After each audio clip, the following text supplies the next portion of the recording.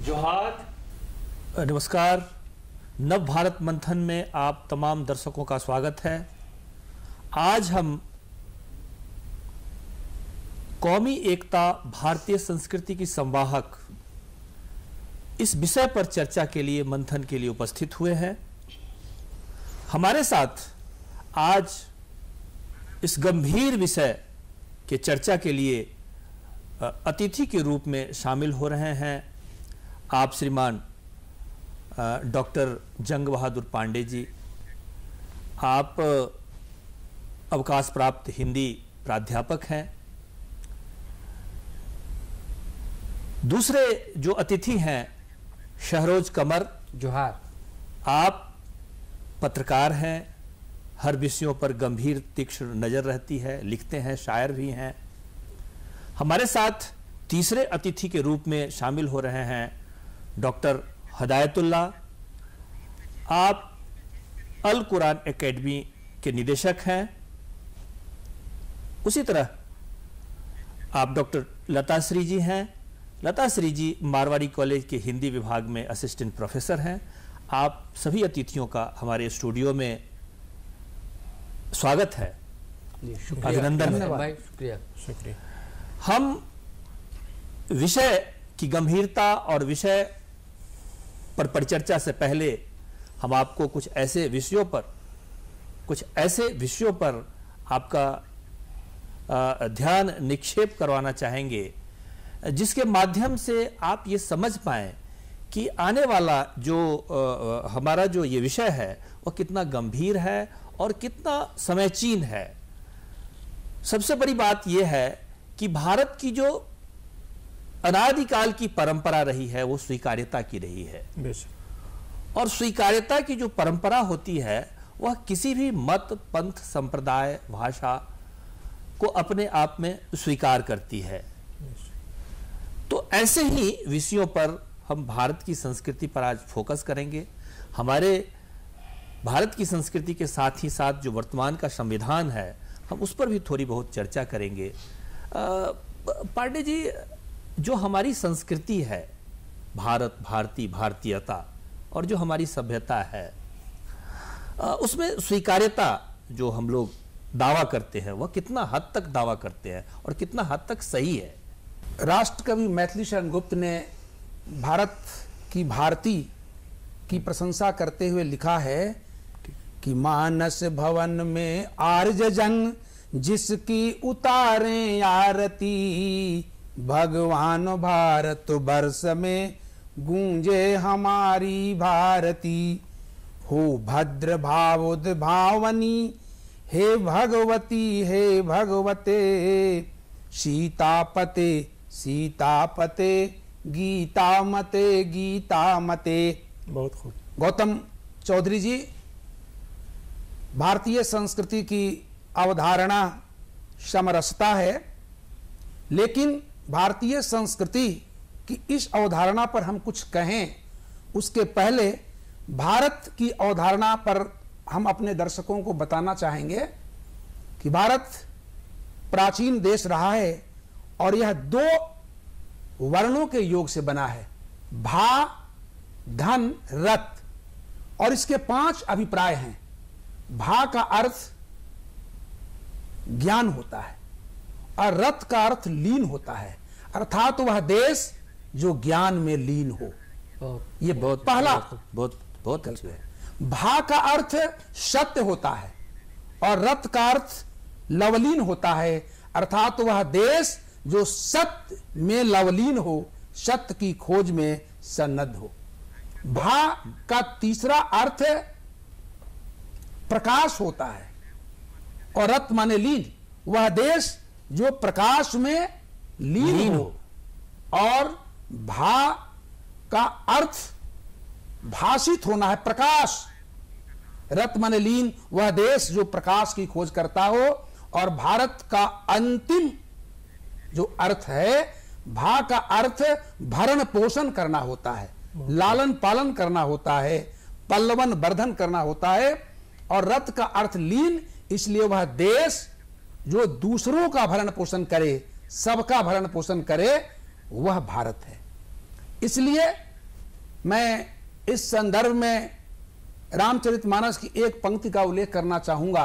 जी जी। कि चक्रवर्ती सम्राट दशरथ ने अपने चारों पुत्रों के नामकरण के लिए जब गुरु वशिष्ठ को बुलाया तो राम का लक्ष्मण का और शत्रुघ्न का नामकरण किया लेकिन भरत के नामकरण के संदर्भ में वशिष्ठ ने लिखा कि विश्व भरण पोषण कर जोई और ताकर नाम भरत अस होई।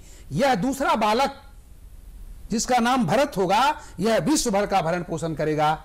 चौधरी जी, मैं आपसे यह कहना चाहता हूँ कि भारत की जो अवधारणा है, इन सभी शब्दों से समन्वित है और भारत ज्ञान का पुजारी, सत्य का अन्वेषक प्रकाश का ग्रही विश्व भरण पोषण का सत्यानुरागी और सबके हित की बात करने वाला देश है।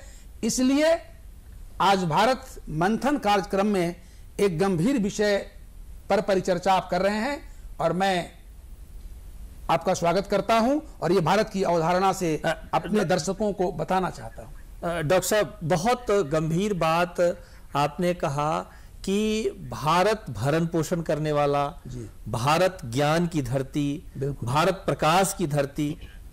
हिदायतुल्ला जी आपको जो ये डॉक्टर साहब ने जो गंभीर बातें कही है विषय जो छेड़ा है जो भरण पोषण करने वाला तो आपको क्या लगता है इस, इस संदर्भ में?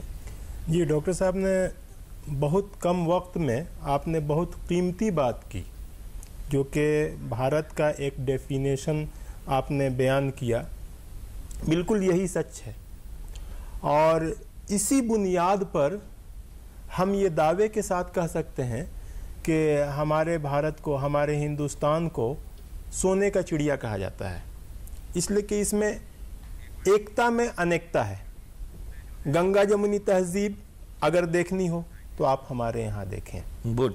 तो ये बिल्कुल हकीकत है कि शुरू से ही अगर हम देखेंगे तो ये मुल्क ऋषि मुनियों का, बुज़ुर्गों का और वलियों का मुल्क रहा है, जिसके बुनियाद पर आज हमारे अंदर इतनी मोहब्बत, इतनी भाईचारगी आ गई है कि हम अगर देखते हैं मतलब ऐसे लोगों के लिए ये मेरी बात एक गाल पे तमाचा है जो कि कहते हैं भारत के ऊपर किसी तरह की इल्ज़ाम लगाते हैं कि आप ज़िंदा की बात न करें अगर आपको देखना हो तो मुसलमान और मैं हिंदू की बात नहीं करता गैर मुसलमान इसलिए कि हिंदू से एक छोटा कैनवस बनता है और गैर मुसलमान कह, कहेंगे तो सिख ईसाई जितने हमारे भाई है वो सारे बिल्कुल, बिल्कुल, बिल्कुल। इसमें शामिल हो जाते हैं तो मुसलमान का जनाजा हो या गैर मुसलमान का,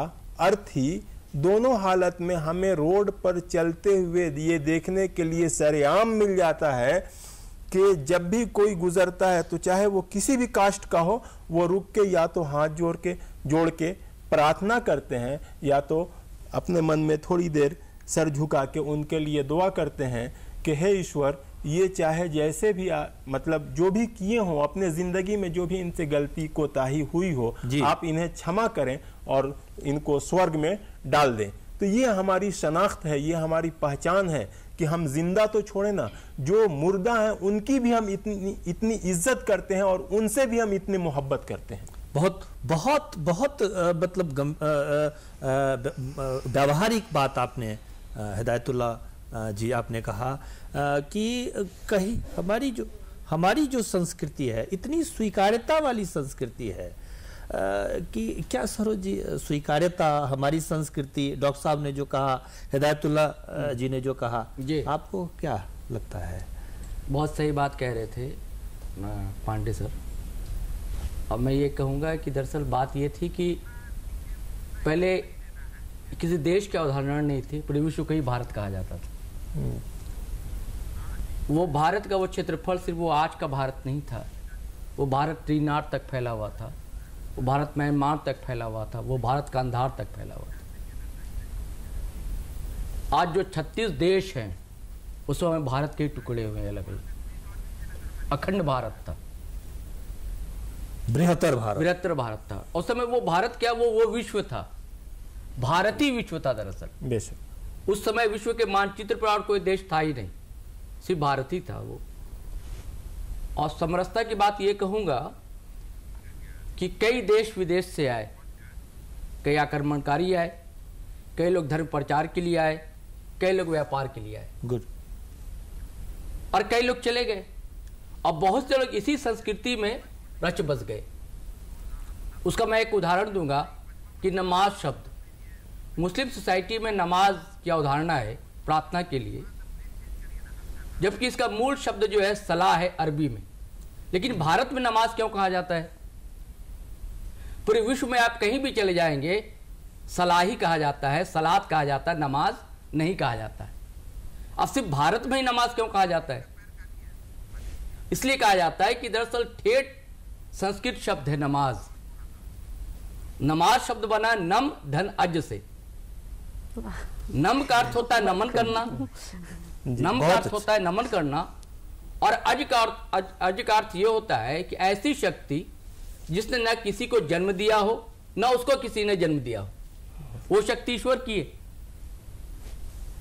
उसको किसी ने जन्म नहीं दिया है। बहुत अच्छी बात। ना वो किसी को जन्म देता है। ऐसी शक्ति को नमन करना नम धन अज नमाज़ बना। वो फारस में जाकर नुक्ता लग जाता है वो नमाज़ हो जाता है।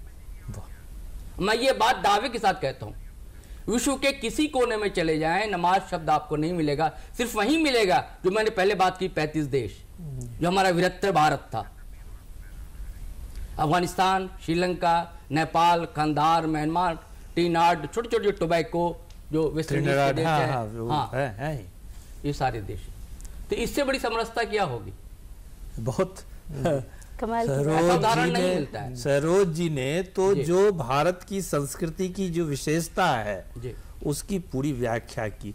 मैडम आपको भारतीय संस्कृति में जो समरसता है आपकी जो ये कहाँ तक आपको लगता है? कहाँ तक स्वीकार्यता है भारत की संस्कृति? में सर मैं बहुत व्यवहारिक बात इस पे करना चाह रही। हूँ क्योंकि मेरे काफ़ी आदरणीय लोग बैठे हैं जिन्होंने बहुत हाँ। अच्छी बातें कह चुकी हैं मैं आज और अभी के संदर्भ से जोड़ती हुई एक बात कहना चाह रही हूँ कि एक एक इंसान आज एक इंसान एक व्यक्ति पूरी एक दुनिया है क्योंकि आज धर्म को हम मानते हैं पर कहीं पीछे से ठेल ढकेल के माना जा रहा है। जी, जी। हमने बहुत सारे नवजागरण देखे हैं पुनर्जागरण देखा है और इन सब का प्रभाव हमारे ऊपर पड़ा है।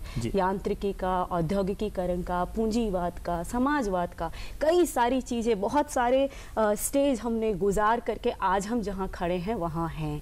और इस सब के बावजूद जहाँ एक व्यक्ति अपने आप से खुश नहीं है कोई एक व्यक्ति कह दे खड़ा होकर के मैं अपने आप से खुश हूँ मैं इसे मान नहीं सकती हूँ। कोई व्यक्ति अपने आप से खुश नहीं है अपने परिवार से खुश नहीं है अपने पति पत्नी बच्चों से खुश नहीं है। वो इस मुल्क में रहते हुए इतने सारे लोगों के बीच वो रह रहा है और देश जो कहकर गए थे अंग्रेज़ की ये बट जाएगा। हम्म, आप आज़ादी ले तो रहे हो पर संभाल नहीं पाओगे। बिल्कुल, हम हैं और बने रहेंगे। ये हमारी सबसे बड़ी समरसता है। बहुत बहुत बहुत बहुत अच्छी बात आपने कहा कि अंग्रेज़ जो कह करके गए थे कि भारत बट जाएगा। एक वाकया है कि अंग्रेज़ एक अफसर जब बहादुर शाह ज़फ़र को अरेस्ट किया तो कहा कि दम दमी में दम नहीं है खैर मांगो जान की। ऐ ज़फ़र ठंडी हुई शमशीर हिंदुस्तान की। तो ज़फ़र ने कहा कि गाजियों में बू रहेगी जब तक ईमान की। तख्त लंदन तक चलेगी तेग हिंदुस्तान की। हिंदुस्तान अ, ये जो ये जो संस्कृति का की जो ताकत है और आज हम देख रहे हैं कि अ, हमारे हमारे मुल्क के लोग आज इंग्लैंड पर शासन कर रहे हैं। हमारे मुल्क के लोग हाँ अमेरिका पर। तो डॉक्टर साहब ये जो गाजियों में बू रहेगी तो गाजियों में बू रहने की बात है जो सुगंध रहने की बात है जो क्रांतिकारी बात उन्होंने जो कहा वो अपने सांस्कृतिक दृष्टि से संसार को कितना प्रभावित कर रहा है।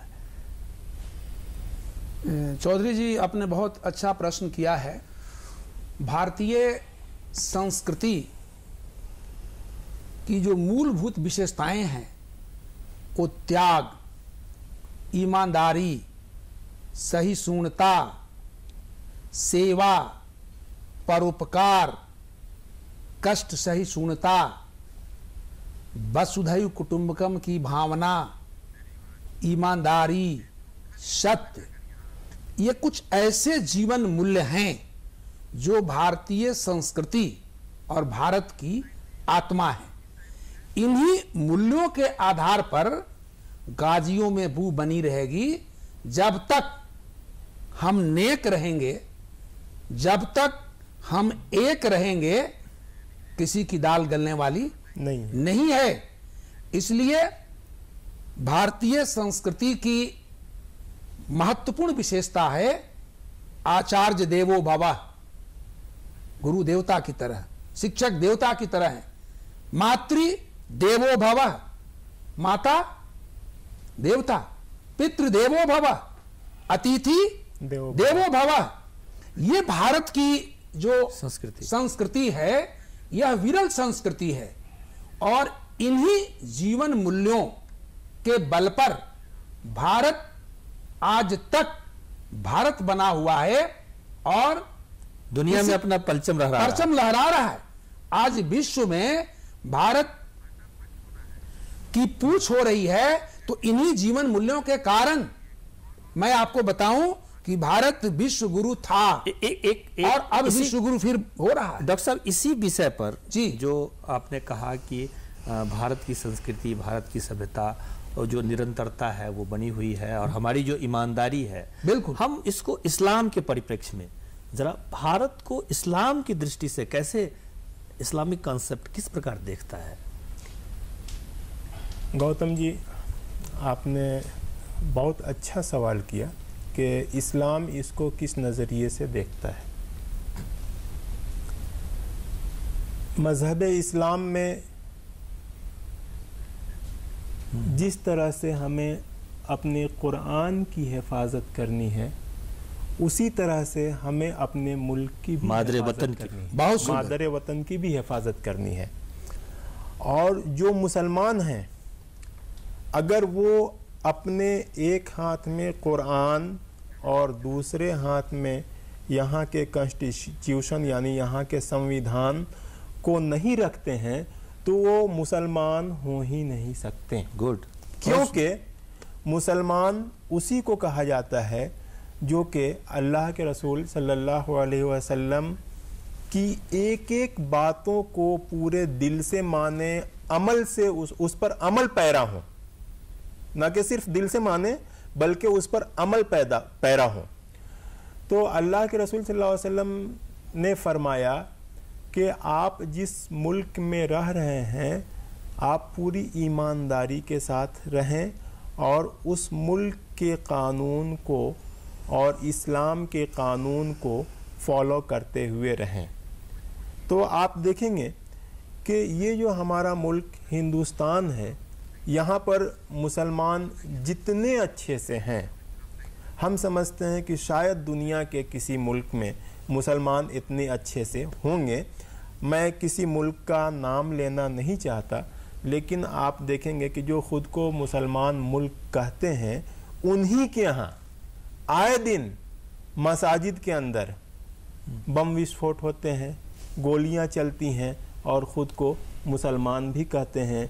जबकि मुसलमान क्या है कि इस्लाम धर्म में कहा गया है कि देखिए नमाज़ जैसा कि अभी हमारे भाई ने ज़िक्र किया कि नमाज़ के बारे में कि नमाज़ बहुत ही बुनियादी चीज़ है। कहा जाता है कि सबसे पहले मरने के बाद नमाज़ की पूछ होगी कब्र के अंदर। इसके लिए वज़ू की ज़रूरत पड़ती है। जी। अगर वज़ू नहीं है जी, जी। गौतम जी बिल्कुल तो बिल्कुल। हमारी नमाज़ नहीं हो सकती। नहीं पूरी नहीं चाहे किसी भी फिरके के हों। बिल्कुल। उस वज़ू के बारे में कहा गया है कि आप वज़ू के पानी को बेजा खर्च ना करें। पानी को बेजा खर्च ना करें। यानी तीन बार अगर हाथ धोने का है तो उसको आप चार बार चार बार कतई नहीं धो सकते हैं। ये इस्लाम ये है। हदीस बहुत- है मैं बहुत- बहुत मैं, मैं एक दखल दूँगा। एक- एक- सेकंड एक दखल दूँगा। वो हदीस ये है कि प्रोफेट मोहम्मद ने कहा पैगंबर मोहम्मद ने कहा कि अगर तुम दरिया के पास भी क्यों ना बैठे हो बेशक। अगर दरिया के पास भी क्यों ना क्यों ना बैठे हो? अब वज़ू कर रहे हो फिर भी कम पानी खर्च करो। जी बिल्कुल। तो तो मेरा तो मे- असल में मेरा बतलाने का कुछ और मकसद था हाँ। गौतम जी मुख्तसर में बात हाँ, खत्म हाँ। करता हूँ कि ये वही मज़हब है जो वज़ू के पानी को ज़्यादा खर्च करने से भी वज़ू के पानी को ज़्यादा खर्च करने से भी रोकता है। ये मज़हब भला किसी के खून बहाने की इजाज़त कैसे Good, दे good, सकती है? और खुद को इस्लामिक मुल्क कहने वाले मसाजिद के अंदर जो है बम बारूद और गोलियाँ चलाने वाले आज हमारे ऊपर कमेंट करेंगे। ये ऐसा नहीं हो सकता। हम कल भी मुझे एक लगता है विषय से हम नहीं हो नहीं हैं। नहीं नहीं तो बहुत अच्छी और बहुत गंभीर बात आपने कही कि इस्लाम के कंसेप्ट में भी मादरे वतन और धरती की रक्षा सुरक्षा ये बहुत बड़ी बात है। नहीं नहीं यहाँ अ, दरअसल हम विषय पर चर्चा कर रहे हैं हाँ उसी उसी कर उसी पर हम आ रहे हैं। उसी पर उसी पर आ रहे हैं। जी। सरोज जी जो हमारे यहाँ जो विभिन्न प्रकार की जी संस्कृतियाँ हैं जैसे संस्कृति नहीं कह सकते हैं उसको सभ्यता कह सकते हैं भाषा है बोलियाँ हैं वो आपस में बड़ा ही स्वीकार्यता के साथ। देखिए अभी आपने इस्लाम की बात की तो हाँ। मैं ये बात कह रहा हूँ। हाँ। दरअसल हम सभी भारतीय हिंदू हैं। ठीक है? जी। ये बहुत कम लोग एक धारणा रही है कि हिंदू शब्द सिंधु से बना। जी जी। मैं इसको नहीं मानता। मैं तर्क देता हूँ। लोग ये कहते हैं कि अरब से जो लोग आए तो वो सा का उच्चारण नहीं कर पाते थे। अगर सा का उच्चारण नहीं करते तो उनके सलाम कैसे था? नहीं ये बात गलत है। है ना? बिल्कुल। आप है बिल्कुल कि सही नहीं? बात। फिर सलाम उनके यहाँ कैसे था? ये दरअसल प्रॉफिट मोहम्मद के समय ये अरबी शब्द है हिंदा और हिंदी। प्रॉफिट मोहम्मद जिसे खूबसूरत समझते थे, सुंदर समझते थे, उसे बोलते थे, ये देखो, हिंदा है। ये देखो, हिंदवी है। जो सुंदर लोग होते थे, बड़े सौले सलोने लोग होते थे, बड़े प्यारे लोग होते थे। और उस दौर में नाम रखे जाते थे अरब में, हिंदा, हिंदवी। हिंदू ये नाम रखे जाते थे। जो वहाँ से जो लोग आए प्रॉफिट मोहम्मद के समय ही उनके हिजरत के तीसरे साल ही लोग ने आना शुरू कर दिया था। केरल में लोग आने लगे थे मालबार में लोग आने लगे बिल्कुल थे तमिलनाडु में लोग आने लगे थे। और उसी समय वो जो मैंने आपसे कहा नमाज़ बना था। और तब वो हिंदू कहा जाने लगा? फिर यहाँ के सारे लोग हिंदू कहा जाने, जाने लगा? सिर्फ़ ये नहीं कि जो सनातन धर्मी थे और सनातन धर्म ये- पर मैं ये तो- कहूँगा सनातन जो है एक ही धर्म है दरअसल वो है सनातन। जी। पूरे विश्व में सिर्फ़ एक धर्म है। बेशक। वो सनातन। है। सरोज और कोई धर्म नहीं सरोज जी इसमें समरसता। नहीं वो समरसता की मैं बात कर रहा हाँ, हाँ, बिल्कुल, कि हिंदू शब्द अब कितनी बड़ी समरसता है ये? कि हिंदू शब्द किसने दिया? आपके यहाँ प्रकांड बैठे हुए हैं पांडे सर बैठे हुए हैं ये बताएँगे क्या वेद में ये शब्द का इस्तेमाल होता है क्या नहीं बिल्कुल नहीं। हिंदू शब्द नहीं है। हिंदू शब्द का प्रयोग कहाँ आता है? किसी वेद में नहीं है किसी उपनिषद में नहीं है। और एक और समरसता की बात करूँ अल्लाह शब्द जो है वो शब्द उपनिषद में इला शब्द आता है। आप लोग जानती होंगी। आप भी जानते होंगे सर आप भी जानते है। वो मैं अभी वो वो मैं श्लोक भूल रहा हूँ अभी। मैं मोबाइल में था मोबाइल मेरा ऑफ़ है मैं अभी जहन से निकल रहा है वो तो। बता देता मैं। इला और इला से इला बना है उससे फिर अल्लाह बना है। वो परम सत्ता जिसकी पूजा करनी है। उसी से अल्लाह शब्द बना तो ये समरसता ही है ना। और क्या है बिल्कुल बिल्कुल। हिंदू है नमाज़ है अल्लाह है ये सब समरसता की बातें। क्योंकि मैं बार बार फिर मैं कहूँगा कि एक समय कोई देश ही नहीं था पूरे विश्व को भारत ही कहा जाता था। वो तो बाद में फिर संख्या बढ़ी और लोगों ने अपने अपने खित्ते बना लिए क्षेत्र बना लिए अपने अपने देश बना लिए अपने अपने रंग हाँ राजनीतिक मैडम राजनीतिक दृष्टि से अपने अपने देश अपने अपने क्षेत्र और अपनी अपनी एक नई सभ्यता लोगों ने गढ़ ली है।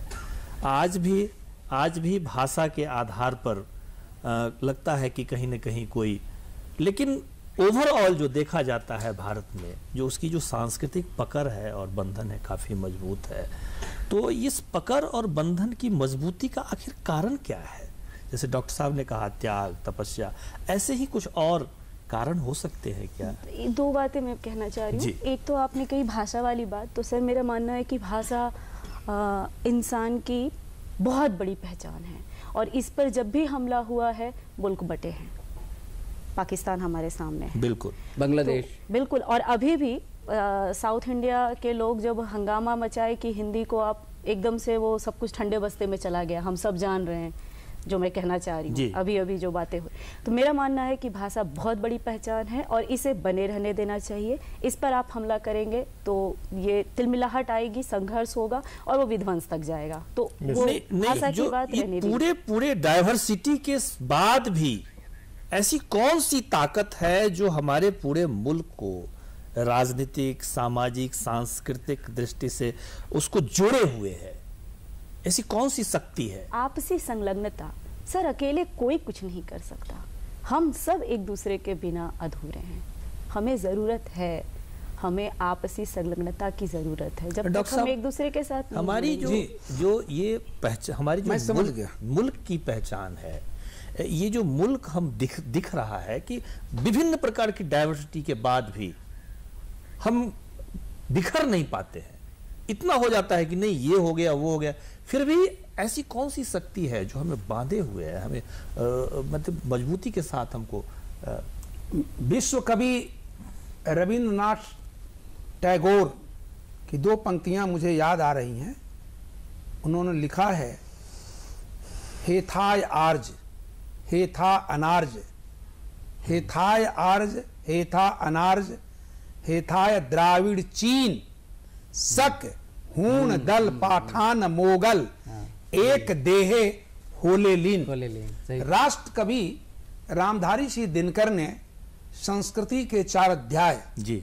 में मुख्य पृष्ठ पर इन पंक्तियों को उद्धृत किया है और यह बताने की कोशिश की है जो आप पूछ रहे हैं जी जी। कि आर्ज अनार्ज द्रविड़ शाक्य हूण मोगल पाठान सभी आए लील। और एक देहे होले लीन कि भारतीय संस्कृति ने सबको अपने में आत्मसात कर लिया और यह स्वीकार्यता भारतीय संस्कृति की आत्मा है और यही उसकी समरसता की भी खासियत है। जी। यही भारतीयता है। जी उसने सबको पचाया बसाया आत्मलीन किया और सबको पचा करके एक सामासिक संस्कृति, दिनकर ने उसे कहा है, सामासिक संस्कृति की अवधारणा भारत में विकसित हुई, जहाँ विभिन्न धर्मों के रहते हुए, विभिन्न जातियों के रहते हुए, विभिन्न भाषाओं के रहते हुए हम एक सूत्र में बंधे हुए हैं। इसलिए कहते हैं, हिंदू, मुस्लिम, सिख, ईसाई और आपस में है। भाई भाई। भाई। भाई भाई ये भारतीय संस्कृति की समरसता है। बिल्कुल, बिल्कुल। ये भारतीय संस्कृति की समरसता है जहाँ सभी बिल्कुल। भ्रातृवत आचरण करते हैं व्यवहार करते हैं और यही वो ताकत है जिसके कारण बहुत बड़े शायर मोहम्मद अलमा इकबाल की पंक्तियाँ मैं उद्धृत कर रहा हूँ। जी उनकी शायरी है। उन्होंने कहा कि यूनान मिश्र रोमा शब मिट गए जहाँ से? बाकी कुछ बात है कि हस्ती मिटती नहीं हमारी दौरे रहा है दुश्मन दौरे रहा है दुश्मन जहाँ हमारा। तो इन तमाम झंझावातों और तमाम उथल पुथल के बाद भी हमारा अस्तित्व है। यूनान मिश्र रोमा जहाँ मिट गए कुछ बात है कि हस्ती चौधरी जी यही कुछ भारतीय संस्कृति का सब कुछ है। यही कुछ भारतीय संस्कृति का सब कुछ है। और इस कुछ को बचा लीजिए तो सब कुछ है। और इस कुछ को यदि तुच्छ बना दिया तो कुछ भी नहीं है। डॉक्टर साहब ने बड़ी म- मिस्र रोमा और एक बात-। एक और बहुत है। मशहूर से। मैं भूल रहा हूँ दूसरी पंक्ति याद आ रही है लता जी। उन्होंने कहा है कि अहले नज़र समझते हैं उनको इमाम हिंद। क्या बात है? है राम के वजूद पर हिंदुस्तान को नाज। नाज। बहुत खूब। जी। इकबाल का ही शेर है। है राम के वजूद पर हिंदुस्तान को नाज अहले नज़र समझते हैं। जिनकी अच्छी दृष्टि है जो दृष्टिवान है। अहले नज़र समझते हैं उसको इमाम हिंद। तो ये तो समरसता है हमारी। बड़ी बड़ी दोनों हिदायतुल्ला जी जो ये हमारी जो बहुसांस्कृतिक जो स्वरूप है विभिन्न भाषा देश और ये। हमारा जो संविधान है वो कितना इसको मतलब आत्मसात करता है? जी अभी डॉक्टर साहब बात कर रहे थे तो बार बार मेरे जहन में ये बात आ रही थी कि हमारे जो भाईचारे हैं हमारे जो मोहब्बत हैं तो इसके दो पहलू हैं। एक तो जो डॉक्टर साहब ने बहुत डिफाइन किया अच्छे से और दूसरा हमारा कॉन्स्टिट्यूशन भी है। जी बिल्कुल। डॉक्टर भीमराव अंबेडकर ने जब जिन कॉन्स्टिट्यूशन बनाने के वक्त, काफ़ी वक्त लगा इसमें तो इसमें एक बात की ख़ास ख्याल रखी गई, जो कि इसकी एक एक बात इंसानियत को पैगाम देने का काम करे और हर किसी के अंदर इक्वालिटी हो। ज़ात पात के बुनियाद पर धर्म के बुनियाद पर रंगो नस्ल के बुनियाद पर इस कॉन्स्टिट्यूशन में कोई ऐसी बात ना आए। ये भी हमें एक जोड़ने का काम करता है। और दूसरा कि हम आज भी देखते हैं कि आप मंदिरों के सामने कई हम लोग जाके और प्रसादी लेते हैं। ये हमारी मोहब्बत है। होली और दीपावली में शायद साथ आप साथ जी साथ साथ और उस वक्त हमें देखेंगे तो शायद आप ना पहचान सकें बिल्कुल। कि हमारे दोस्त हमको टीका भी लगाते हैं और रमज़ान में हम उनको टोपी भी पहनाते हैं। बहुत खूब।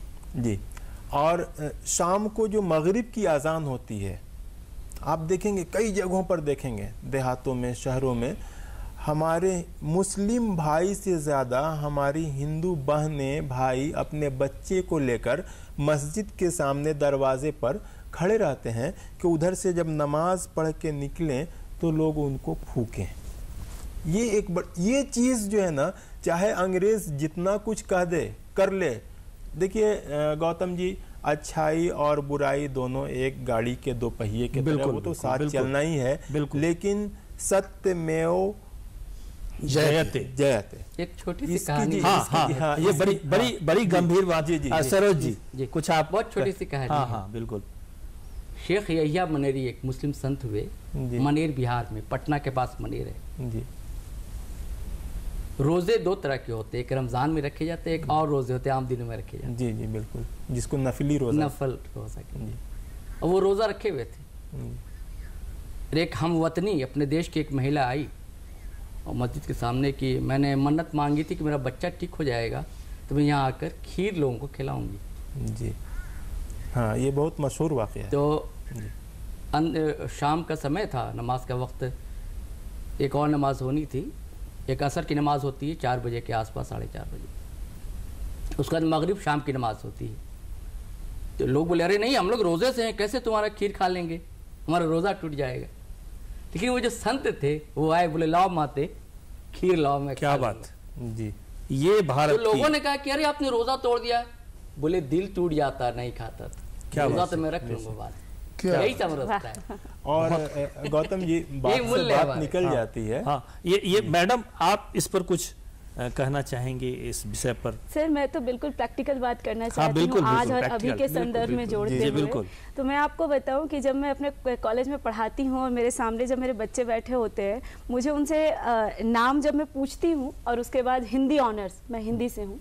तो जब हिंदी ऑनर्स लिखती हूँ तो उधर से जब बात आती है कि मेरा नाम जो है सो नाज परवीन है। हाँ, जस्मीन या है। इस तरह इस तरह हाँ। की बात तो मुझे लगता है अच्छा फरहत है शायरा है। मुझे बहुत अच्छा अच्छा जितने ही मुस्लिम लड़कियाँ होती हैं उतनी ही मेरे पास मुस्लिम लड़के भी होते हैं। और आपको बताऊँ जब मैं उन्हें बताती हूँ भक्ति काल पढ़ा रही होती हूँ तो वो जितनी दिलचस्पी से सूफी काव्य समझते हैं उतनी ही दिलचस्पी से वो पूरा का पूरा राम काव्य और सूर काव्य भी समझते हैं। बल्कि अगर कुछ छूट जाए तो फिर से मुझसे तगादा करते हैं कि ये रह गया है मुझे बताएँ। तो ये मुझे बहुत खुशी देती है और उस वक्त ही मुझे एहसास होता है कि राजनीति और सियासी हमें कितना भी तोड़ ले हम जो आपस में जो जुड़े हुए हैं इतना आसान नहीं है हमें तोड़ बिल्कुल। पाना। अलग ही है। भारतीयता को आप व्यक्त नहीं कर सकते। डॉक्टर साहब- एक ऐसी संवेदना जो आत्मा से जुड़ी हुई है। डॉक्टर साहब बुल्ले शाह कहते हैं हाँ, होली खेलूँगी कहकर हाँ बुल्ले शाह का बहुत बढ़िया वाक्य है भारत की संस्कृति को पूर्ण रूप से जो परिलक्षित करता है वो कहते हैं कि फर फर इल्म किताबा वाला राम रखायो काजी। हा- हज, मुक्के जाकर हज पढ़ियायो नाम रखायो हाजी। फर शमशीर मुजाहिद वाला, नाम रखायो गाजी। बुल्ले शाह कुछ नहीं कीता, यार नु कीता राज़ी। मतलब भारत में इतने बड़े संत, जो उन्होंने कहा कि बुल्ले शाह ने कुछ नहीं किया और भगवान को ही राज़ी कर लिया। तो ये जो भगवान की पूजा है, भगवान का जो मन्नत है, वो हमारी शक्ति और हमारी ताकत है।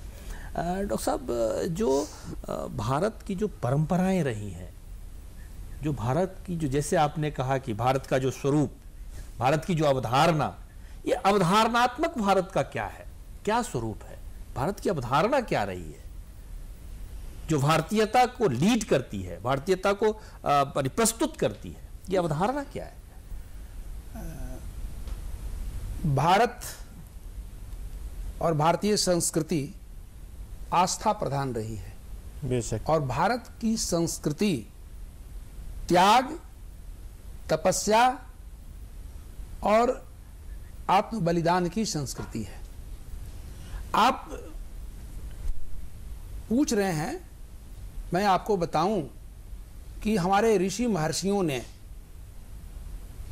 जो दर्शन दिया जो विचार दिया चाणक्य नीति का श्लोक है और ये भारत की अवधारणा भी है। उसमें लिखा हुआ है अयम नीज परो वेति गणना लघु चेतसाम उदार चरिता नाम तो वसुधैव कुटुंबकम जी। चौधरी जी जी, जी। यह अपना है अयम नीज परो वेति। और ये दूसरे का है। गणना कौन कर रहा है? गणना लघु चेतसाम। कि जिनका चित्त लघु है हृदय लघु है ऐसी गणना वे करते हैं। लेकिन भारत क्या है? उदार चरिता नाम तु वसुधैव कुटुंबकम the whole universe is like a family ji. This concept is unique in the world कि जहाँ हम पूरे विश्व को एक परिवार मानते हैं। और यही भारत की सबसे बड़ी खूबी है। यही भारत की समरसता है कि हम सबको एक मानते हैं जहाँ लघु चित्त वाले अपने और पराये का भेद करते वहाँ भारत ये भेद नहीं करता है। और इसी उदार चरिता नाम तू भारत बहुत उपनिषद का मंत्र है सर आप सभी जानते हैं। जब प्रार्थना ऋषि करता है तो क्या कहता है? शरवे भवन्तु सुखिनः। शरवे संतु निरामया। शरवे भद्राणि पश्यन्तु। माँ कश्चित दुख भागो भवेत। जी। जी। सभी सुखी हो सभी निरोग हो और कोई दुख का भागी नहीं बने यह विशालता और यह दृष्टि ही भारत को भारत बनाए हुए है। विशालता सरोज जी। अभी जो आस्था की बात आस्था की बात कर रहे थे। विशालता और आस्था दो शब्द। आस्था। की बात कर रहे थे उस पर मुझे मीर का शेर याद आता है। सुनाइए। मीर तकी मीर। और वही मूल है हमारी भारतीयता में वही आस्था है उसे हम माने तो ऐसे कभी कुछ ऐसी बात ना हो जो थोड़ी बहुत मीन में दिखने को मिलती है। दरअसल उसकी वजह यह है कि हम धार्मिक नहीं धर्मांध होते जा रहे हैं उससे हमें बचना चाहिए। तो वो मैं शेर कहूँगा मीर तकी मीर का है कि उसके फरोग हुस्न से झमके सब में नूर। उसके फरोग हुस्न से। हुस्न सौंदर्य फरोग विकास। उसके फरोग हुस्न से झमके सब में नूर वो शमय हरम हो मक्का मदीना का। वो शमय हरम हो या दिया सोमनाथ का। बहुत खूब। शम्माए हरम हो हरम हो। या दिया या दिया सोमनाथ का। सोमनाथ या सोमनाथ। वही तो क्या है। बात है। बहुत उसी के फ़र्क होते से हर जगह दिया जलते हैं और क्षमा रोशन होती है। और यही भारतीयता है। भारतीय दरअसल एक धर्म नहीं है एक संस्कृति है। और दरअसल गड़बड़ कब होती है जब हम हिंदू को धर्म मानने लगते हैं? बिल्कुल बिल्कुल। जब हम उसे संस्कृति मानने लगेंगे वही भारतीयता है। मैडम आपका मतलब हिंदू को धर्म उसको संस्कृति कैसे बाइफर्केट कर सकते हैं आप? क्या लगता है? इसकी सबसे पहली शुरुआत तो हमें घर से मिलती है। बहुत सारे घरों में मिलती है बहुत सारे घरों में थोड़ी कम मिलती है लेकिन मिल जाती है कि हम सिर्फ़ हिंदू नहीं हैं हम इंसान हैं और हमारी ये पूरी संस्कृति है जिसे हम लेकर चल रहे हैं जिसमें गैर हिंदू भी आते हैं। जैसे इन्होंने कहा गैर मुस्लिम वाली बात ठीक वैसे ही हमारे घरों में भी ये बात कही जाती है कि गैर हिंदू भी आते हैं और वो सब मिलकर हम भारत बनते हैं। हम हम जिस घर में रह रहे हैं हम जिस मोहल्ले में रह रहे हैं भारत तो बहुत बड़ा कंसेप्ट है। हम छोटे स्तर पर भी अगर सोचे तो एक क्लास एक घर एक मोहल्ला जो है वो भी हम सबसे मिलकर बनता है। और जो मैं पहले दफे आपसे बात कह रही थी संलग्नता वाली बात जी। मैं वापस उस पर आऊँगी सर। कि ये चीज़ें जुड़ती हैं। मैं बहुत ज़्यादा विशेषज्ञता वाली बात नहीं कहना चाह रही हूँ क्योंकि वो सर लोग हैं कह रहे हैं लेकिन मैं जो व्यवहारिक रूप से कहना चाहती हूँ, वो सबको मालूम है कि हम सब एक दूसरे से बंधे हुए हैं, जुड़े हुए हैं और बहुत सदियों से जुड़े हुए हैं। तो हमें मिलकर चलना ही होगा। टूट जाएँगे, अलग हो जाएँगे तो दूसरे लोग आएँगे हम पर शासन करने के लिए। ये बात हमारे नवयुवक जानते हैं आज के। तो ये सारी चीज़ें हैं जो हमें बनाती हैं, हिंदुस्तान बनाती हैं। हिंदू और मुस्लिम से अलग हिंदुस्तान हमें बनाती हैं। हिदायतुल्लाह जी बड़ी बड़ी गंभीर ये ये जो विषय है ना ये काफ़ी महत्वपूर्ण विषय है और इस पर चर्चा थोड़ा विस्तार से होना चाहिए कि और, और बड़ा रोचक भी है काफ़ी रोचक है।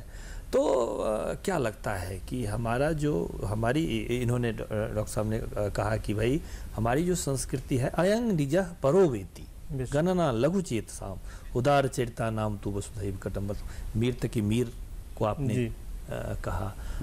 आपको क्या लगता है कि मीर तकी मीर, डॉक्टर साहब का जो वाकया है वो वो कहाँ तक हमको गौतम जी, बात शेर से हुई तो शेर में ही करनी चाहिए। मनोवर राना एक मशहूर शायर गुज़रे हैं। वो अपने एक शेर में कहते हैं कि, मैं उर्दू में गज़ल कहता हूँ तो हिंदी मुस्कुराती है। क्या बात क्या बात माँ से गले लगता हूँ मौसी मुस्कुराती है। क्या बात बहुत अच्छा।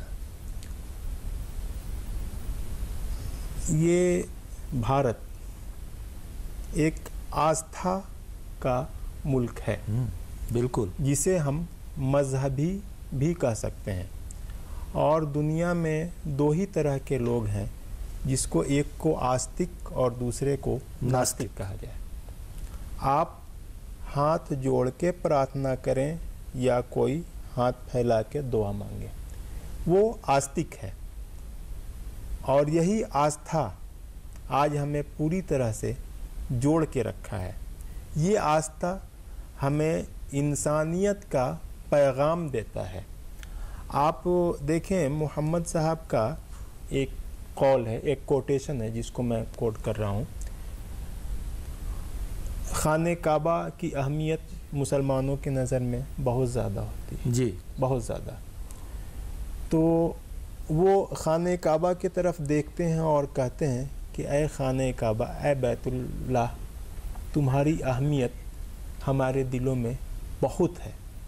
अगर तुझे कोई तोड़ता है तो मुझे बहुत तकलीफ़ होती है। लेकिन इससे ज़्यादा तकलीफ़ हमें उस वक्त होगी जब एक इंसान दूसरे इंसान के दिल को तोड़ता है। जी बिल्कुल। ये आस्था ये कॉन्सेप्ट जिस मुल्क में और जहाँ के लोगों के अंदर आ जाए वो मुल्क को तरक्की के राह पर गामजन करने से दुनिया की कोई भी ताकत नहीं रोक सकती है। डॉक्टर साहब आपने ही जो विषय छेड़ा था जी जी। आस्था का ये देश है और हमारी परंपरा आस्थात्मक परंपरा रही है। और इस आस्थात्मक परंपरा में जो हमारा अभी तक का चिंतन है जो सनातन चिंतन चलता हुआ आया है और भविष्य का क्या है? भविष्य में अ, क्या हम इसी चिंतन पर रहेंगे इसी संस्कृति के साथ बधे हुए रहेंगे? कि आने वाले समय में आपको क्या लगता है? कुछ परिवर्तन भी हो सकता है। भारतीय संस्कृति की जो मूलभूत चेतना है, जिसको आप आत्मा कहिए, वो बदलने वाली नहीं है। और हम उसी पर आगे बढ़ सकते हैं। उसी पर हम विश्व गुरु बन सकते हैं, उसी पर हम विकसित राष्ट्र हो सकते हैं, उसी पर हम सारी भौतिक, आध्यात्मिक उपलब्धियाँ प्राप्त कर सकते हैं। उपनिषद का एक श्लोक है, आप सभी जानते होंगे, जो भारतीय संस्कृति की चेतना है। समरसता का मूल है। वो श्लोक बहुत प्रसिद्ध है। मातृवत परदारेसु अपर द्रव्येषु लोष्टवत, आत्मवत सर्वभूतेषु यह पश्यति सह पंडिता आप मातृवत परदारेशु कि दूसरी स्त्रियों को माता की तरह देखो। चेतना भारतीय संस्कृति। पर द्रव्येशु लोष्टवत। और दूसरे का धन मिट्टी के ढेले की तरह आत्मवत सर्वभूतेषु। अपना ही तरह अपने तरह सबको देखोगे। दर्शन यह। पश्यति सह पंडिता। जो यह देखता है वह पंडित है वह आचार्य है। और भारत की जो मूल चेतना है जिस पर समरसता टिकी हुई है इसी पर है। ऐसा नहीं कि लूट लाओ कूट खाओ। नहीं भारतीय संस्कृति की एक चेतना नहीं है। इसलिए भारत इन्हीं मूल्यों के आधार पर विश्वगुरु था और पुनः इन्हीं मूल्यों के आधार पर विश्वगुरु तो इसको और ज़्यादा इसका इसको और ज़्यादा संसार में दुनिया में अपने यहाँ कैसे इसका विकास हो कैसे इसको फैलाया जाए समरसता को। जी, इसके लिए हमें आपस में मिलकर रहना है, सौहार्द को बनाए रखना है, प्रेम की भावना को जगाए रखना है, और हिंदुस्तान में सभी धर्मों के लोग, सभी मजहबों के लोग एक हैं और उनमें कोई बाहरी भिन्नता भले हो, मगर आंतरिक भिन्नता नहीं है। मैं केवल एक साहित्य से आपको उदाहरण देना चाहूँगा। अकबर दरबार के नौ रत्न थे जिसमें अब्दुल रहीम खान खाना भी एक थे। जी बिल्कुल। और तुलसी के बड़े दोस्त थे। तो जब तुलसी रहीम तुलसी ने जब रामचरितमानस पूरा किया तो अकबर तक सूचना गई। अकबर ने भी चाहा था कि तुलसीदास दरबार में आए और अकबर चरित मानस लिखे तुलसी ने स्वीकार नहीं किया। हाँ, हाँ, उन्होंने- लेकिन रहीम से अकबर ने प्रतिक्रिया मांगी। आप ध्यान से सुनिए रहीम से जो मुसलमान थे और रामचरितमानस पर प्रतिक्रिया मांगी कि आप रामचरितमानस के बारे में बताएँ क्या है? रहीम ने दोहा लिखा है कि रामचरित मानस विमल पहला वाक कि रामचरित मानस विमल संतन जीवन प्राण। हिंदुआन को वेद सम अयव नहीं प्रगट कुरान। क्या बात है। ये समरसता है। क्या बात है। ये समरसता है। तो, ये हृदय की उदारता भी है। तो इस इस समरसता को इस समरसता को जो जो जिस चीज़ को हम अभी तक आ, मानते जानते समझते और उसको आत्मसात करते हुए आए हैं। आने वाले समय में कैसे इसका हम विस्तार कर सकते हैं? कैसे प्रसार कर सकते हैं? मेरा मेरा यही कहना है कि हमें राजनीति से सियासत से बिल्कुल दूर दूर रहना चाहिए। क्योंकि आत्मा को वो कहीं ना कहीं छूती है और वो मस्तक में आती है हमारे विचार बनते हैं। हमें उससे बचना चाहिए।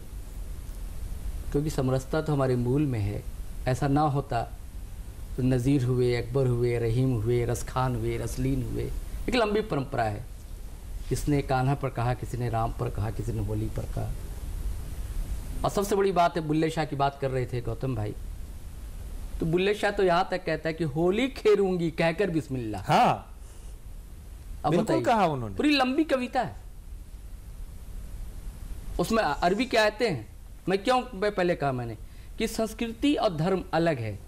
भारतीय संस्कृति अलग है सनातन धर्म अलग है जब आप उसे मिलाते हैं ना तभी फिर वो और जब कोशिश की जाती है कि एक ही रंग हो कभी ऐसा होता है क्या? अगर एक बाग में हर तरह के रंग हो तो कितना अच्छा लगेगा? और मैं कह दूँ नहीं एक ही रंग के सिर्फ़ फूल हो पूरे रांची में तो वो अच्छा लगेगा क्या? कहीं गुलमोहर हो कहीं गुलाब हो कहीं गुलदौदी हो कहीं चमेली कहीं हो। चमेली हो कहीं गेंदा हो यही रंग है अलग अलग उसको जाति का रंग दे दें आप नाम दे दें धर्म का नाम दे दें आप। तो ये पैगाम सियासत से बिल्कुल दूर रहना चाहिए। और सियासत से सियासत से दूर रहेंगे हम तो बिल्कुल हम भारतीय हैं। और हम भारतीय हैं तभी हम इंसान हैं। दोनों अलग है भी नहीं दरअसल। हाँ। सरोज जी अ, बड़ी अ, मतलब अब क्या है ना कि हमारी संस्कृति का जो उदार पक्ष है उसका कैसे प्रसार विस्तार? किया जाए। देखिए सरोज जी की बात से मैं इत्तेफाक रखता हूँ, लेकिन शायद पूरी तरह से नहीं। क्योंकि जिस सियासत की ये बात करते हैं, सियासत को हम बहुत बड़ी इबादत मानते हैं। सियासत क्या है? कि पूरी ईमानदारी के साथ अपने काम को अंजाम देना। दोषी चाहे कोई भी हो अकॉर्डिंग टू एक्ट उसको पनिश करना। बिल्कुल। उसमें तसुबात के चश्मे को पूरी तरह से उतार के रख देना। जी। कौन क्या है नहीं है शायद इसीलिए अदालत के अंदर देखेंगे कि पट्टी बंधा हुआ। रहता है कि आप किसी को ये ना देखें कि वो हमारा कौन है। ये असल सियासत है और सियासत जो है क्या है? हुकूमत है ये बहुत बड़ी इबादत है। हाँ इस नाम को गंदा ज़रूर किया गया है जिसके वजह से आज शहरोज जी जैसी शख्सियत ऊँची शख्सियत पढ़े लिखे माशाल्लाह जी। को इनको ये कहना पड़ रहा है कि सियासत से दूर रहो तो भाईचारगी बनी हुई रहेगी। सियासत का असल मकसद वो नहीं है। सियासत का असल मकसद ये है कि दो टूटे हुए दिलों को आपस में कैसे जोड़ा जाए। क्यों ना हमें अपने तरफ़ से एक झूठ का ही सहारा लेना पड़े। बस। बिल्कुल। ये असल बहुत अच्छी बात जी, अ, मैडम बहुत अच्छी बात हिदायतुल्ला भाई ने कहा कि कि सबसे बड़ी बात ये होती है कि दो हृदय को प्रेम कैसे किया जाए आपस में कैसे दोनों को मिलाया जाए ये सियासत होती है। हमारी जो उदारता है उदार संस्कृति है इसको और कैसे विस्तार दिया जाए इसका और कैसे प्रसार किया जाए बहुत संक्षिप्त में सिर्फ़ दो बातें कहना चाहूँगी। और सर जैसा कह रहे थे, मैं बिल्कुल उससे इतफाक़ रखते हुए कह रही हूँ कि हाँ हम भारतीय संस्कृति को भारतीय संस्कृति रहने दे उसे सनातन धर्म के साथ घाल मेल ना करें। जब जब उसका घाल मेल हुआ है दुष्परिणाम ही हमारे सामने आए हैं। और इसका दुष्परिणाम पूरा यंगस्टर झेलता है पूरा देश और पूरी दुनिया हमारी झेलती है। तो संस्कृति संस्कृति रहने दे सनातन धर्म को सनातन धर्म रहने दे। ठीक यही बात हिंदुओं पर जैसे लागू होती है मुसलमानों पर भी लागू होती है। बिल्कुल। बिल्कुल मुसलमानों पर पर, भी ये लागू होती है कि आप भारतीय संस्कृति के साथ रहें रचे बसे और इसको सम्मान दें। सर मैं सिर्फ़ एक बात कहना चाहती हूँ हर घर की माँ को। मुझे सियासत से कोई लेना लेना देना नहीं है क्योंकि मुझे मालूम है सियासत गंदी ही है। ये रणनीति है ये राजनीति है जो जो सफाक सही सूरत इसकी होनी चाहिए थी वो है नहीं। जी वो नहीं है। वो नहीं है। इसलिए इसकी कोई भी किसी भी तरह की कोई कर ले इसकी पूजा वूजा मैं नहीं कर सकती। मैं तो बस यही विनती करती हूँ कि हर माँ से। ये ये आप आप कहना क्या चाहती हैं? यही मैं कहना चाह रही हूँ मैं अपनी बात पर आ रही हूँ।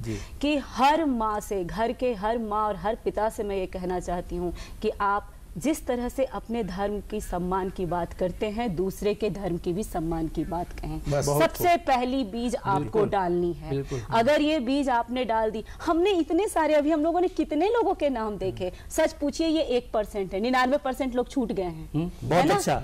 और ये सब इसी वजह से हुए। डॉक्टर साहब अब हम लोग मतलब अंतिम चरण में हैं। थोड़े से चंद शब्दों में हमारी जो संस्कृति है उसको एकदम बिल्कुल। मैं चार पंक्तियों में समाहार करना चाहता हूँ। हमारे दर्शकों को। जी दर्शकों को ये और प्रार्थना भी करता हूँ कि ये भाव बना रहे तो हमारी समरसता भी रहेगी और हम प्रसन्न भी रहेंगे। हे प्रभु बर दीजिए सुखमय अखिल संसार हो। हे प्रभु बर दीजिए सुखमय अखिल संसार हो। हर हृदय में प्यार केवल प्यार केवल प्यार। प्यार सरोज जी आप प्यार बहुत। एक मिनट एकदम। एक सेकंड। हर हृदय में प्यार केवल प्यार केवल प्यार हो। दुर्गुणों दुर्भावनाओं से बचे प्राणी सभी। और मध्य दो हृदयों में सद्भावना सद्भाव हो सद्भावना सद्भाव हो शहरोज जी जय हिंद। बिल्कुल चंद शब्दों में हमारे दर्शकों को आप कुछ कहना चाहेंगे इस संदर्भ में? बस जो मैंने पहले बात कही थी मैं उसी पर कायम हूँ। और अपने अंदर थोड़ा सा नदी बचा लीजिए थोड़ा पानी बचा लीजिए। क्या बात है। थोड़ी खुशबू बचा लीजिए। हिदायतुल्ला जी। थोड़ा रंग बचा बस लीजिए। बस, जय हो। रंग बचा हाँ, लीजिए पानी बचा लीजिए। खुशबू बचा लीजिए। हाँ।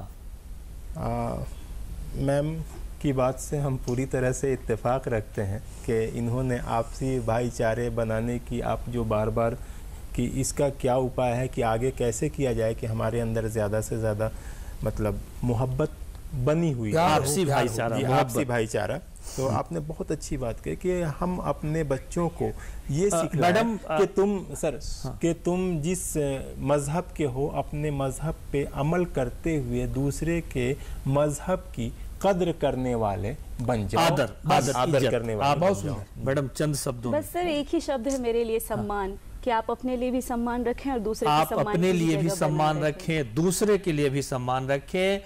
आज जो हम लोगों ने चर्चा की, भारतीय संस्कृति कौमी एकता की संवाहक है और हमारी संस्कृति में जो स्वीकार्यता है, वो बहुत ज़्यादा है, किसी भी चिंतन, किसी भी धर्म, किसी भी संप्रदाय का।